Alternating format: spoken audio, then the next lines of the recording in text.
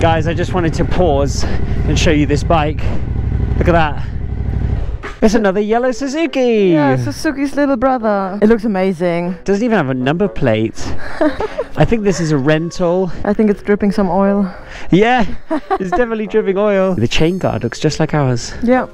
Haven't changed. Good morning world. Welcome back to our circumnavigation around the globe by motorcycle. We're here in the city of Osh in Kyrgyzstan and today is a super exciting day because we are crossing another border Today we are going to be crossing the border into country number 29 on our journey around the world, Uzbekistan. The city of Osh is actually very, very close to the Uzbekistan border. It's estimated to be up to 3,000 years old and we're on the ancient Silk Road. So it was a pretty cool place to spend the night and yesterday we had an amazing exploration of a 2,000 year old bazaar in the center of the city.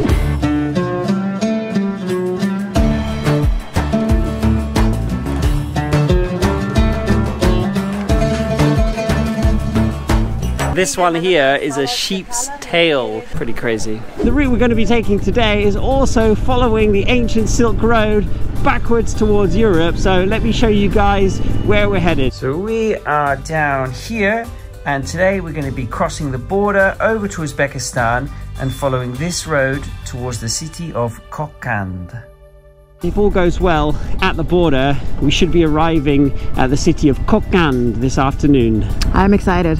You can just imagine that along these, maybe not this road, don't know if they had tarmac thousands of years ago, but along this way, people have been bringing goods back and forth all the way from China and all the way from Europe. It's pretty incredible really to be in a place with such an amazing and rich history.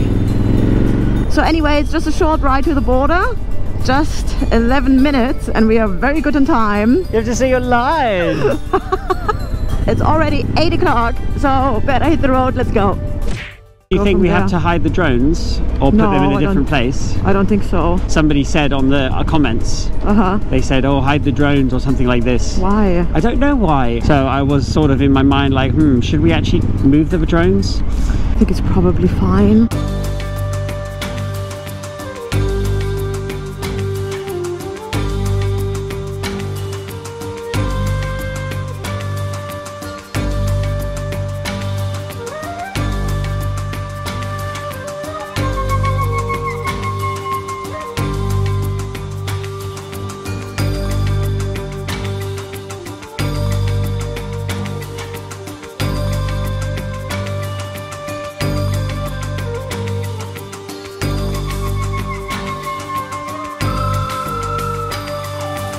All right, I think we're getting pretty close now.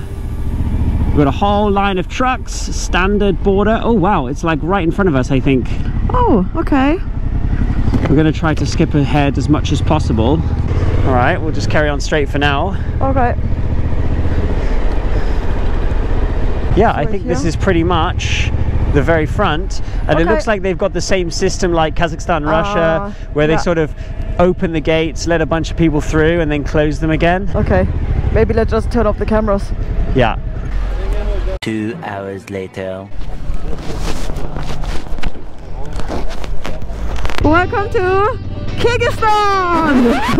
Oh no! So we are back in Kyrgyzstan. I wish I could have recorded some of that, but that would have made the situation much worse than it was, which was pretty bad already. So Yeah. we had a few hiccups. The first hiccup was that trying to exit Kyrgyzstan, they wanted our temporary import permit from when we came into Kyrgyzstan but we forgot to get it or they didn't give it to us when we came into kyrgyzstan from kazakhstan i asked them at the border i said okay anything else do i need any document anything no no no go go go no problem no problem but apparently they were supposed to have given us a temporary import permit and the guy was like you can't leave kyrgyzstan unless you give us this piece of paper Yeah, and he was really strict. He was like, no, if you don't have a physical paper, you have to return, go back to um, Kazakhstan and whatever. So for a little while we were there and we had no idea what to do. Um, but then he started mentioning to us, oh, did you get a paper from Russia? Did you get a paper from any country to prove, you know, that this bike is, is coming in? Then we remembered that we sent a WhatsApp of our Russian import permit to Yuri back in Vladivostok. So we just met up with Yuri and look what he has for us. so that temporary import permit that we got in Vladivostok, we had a picture of it. So I showed him the picture and he's saying at first, no, no, no, physical copy. But then we said, oh, can't we email it to you, WhatsApp? And his colleagues were there and they were like, uh, We are so lucky that actually the colleagues were there and they saw it and they saw us. So they were like, yes, just send it, you know? Like, yeah, yeah. So then the guy said to us, okay, if you WhatsApp me those pictures, you're allowed to exit Kyrgyzstan. yeah. So we WhatsApped him the pictures and everything was fine. But then you guys must be wondering, why are we back in Kyrgyzstan? well, that wasn't the biggest issue. Yeah. The biggest issue was that when we were coming into Uzbekistan, everything was fine. We got the passport stamped, we got the temporary import permit for Bumblebee, and we thought we were home free and ready to go until they did an inspection of Bumblebee. Yeah. He came around, looking around the bike, and he said to me, you have drone? And I looked him in the eye, I said, no, no drone, because that's just my standard response. Whenever they ask me about drones, I always say no drone, because it's always good to just say no. And then he looked in everything we had, and of course, what did he find? He found our two drones. Yeah. Oh, Yeah. drone! Oh, I thought you said something else. kind of like this, you know. Apparently, drones are illegal in Uzbekistan. Yeah. They looked at us. They say if you take the drone inside, they will arrest you. Yeah. So they said you have two choices.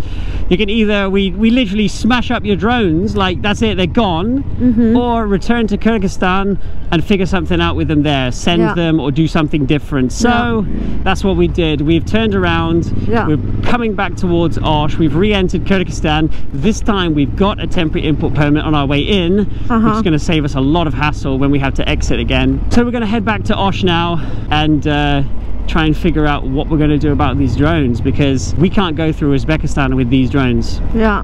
Massive bummer. Yeah, we were like so there. We had the Mm. temporary import permit, we had our passport stamped. Officially, we have entered and been into Uzbekistan, Yeah. even if it was only for about half an hour. We shipped our drones twice already, once over Yeah. Nicaragua and once over Russia, Uh-huh. just to avoid any bad situations. Yeah. And now the third time we've Yeah. run into trouble with these drones, Yeah. and we can't go into Uzbekistan with them. Yeah. So the time is now 11 o'clock. So it's basically taken us the whole morning to get all that done. So yeah, we'll have a think about it and see what we can do. Thank you. So we found ourselves a nice place to have some more lagman, which is basically noodles with vegetables and a little bit of meat. So we're gonna eat this and then decide what to do.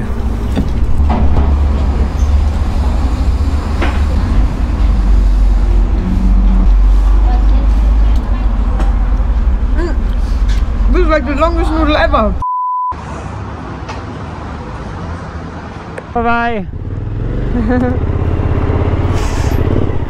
Another awesome Lagman lunch. This was pretty much the only option. Yeah, they basically just had one big pot with meat and veg, and then they just give you a portion of noodles with that. Yeah, exactly. That's, that's it, that's your option basically. But anyway, I had a little think about what we're planning to do. So the original plan was to go to Tashkent, the capital of Uzbekistan, and cross the border back into Kazakhstan and go up to the city of Shymkent or Shimkent. But we realized actually that where we are right now in Osh, we can actually ride back up through Kyrgyzstan and cross the border in the northwest and basically that puts us just in front of the same city Shymkent. Yeah, and this meant that we can skip uh, Uzbekistan completely, which is a little bit of a shame, but I really don't want to send the drones again. We don't know where to send the drones to and then you've got the the cost of sending which is probably another 100 150 dollars and then you've got the issue of when you want to pick them up most of the time they want you to pay some sort of customs duty import tax There are always so many processes you have to go through.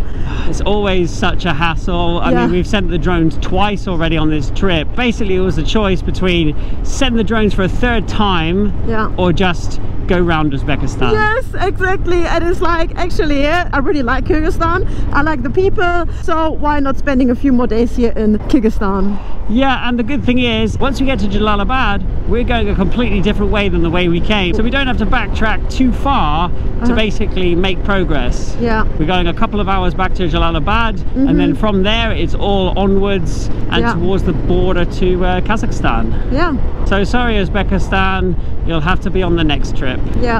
Without drones. without drones.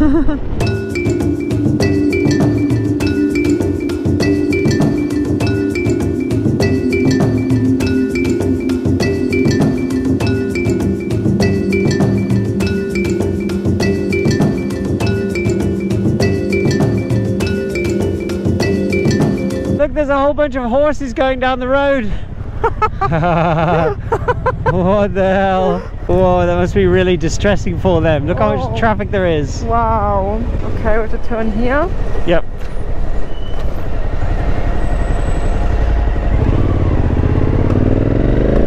Thirty-seven thousand nine hundred and ninety-nine point nine. We just hit thirty-eight thousand miles on the road.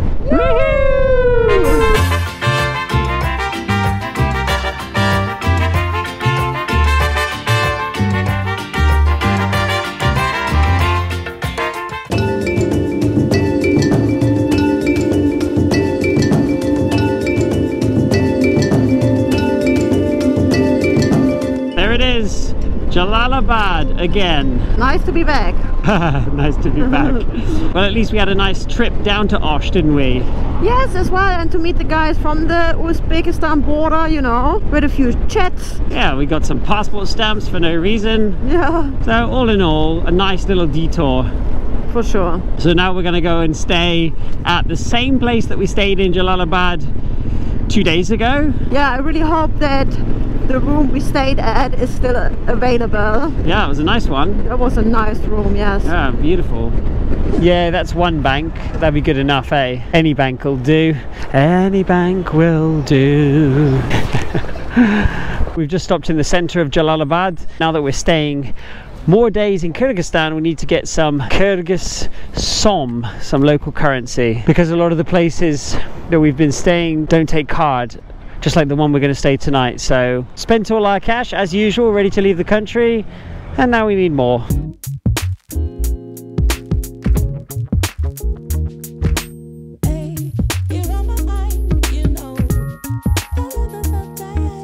Okay, cash mission successful. Well, that took ages. Yeah, I really don't know. It's probably payday or something. But I was in the queue and in front of me probably 30 people. Wow. Yeah, it was really busy. I was thinking to go to a different bank, but I didn't know which bank. And I was like, okay, no, we'll just wait here. It's 35 degrees. Oh my God, I can feel my head. It's so boiling hot. Yeah, I was basically just standing in the sun the whole time, like, where is Lavinia? Has she melted? Yeah, exactly. So it's 15 minutes over to the uh, accommodation that we stayed at a couple of days ago. So we're going to head over there and then see if they've got space for us. Yeah.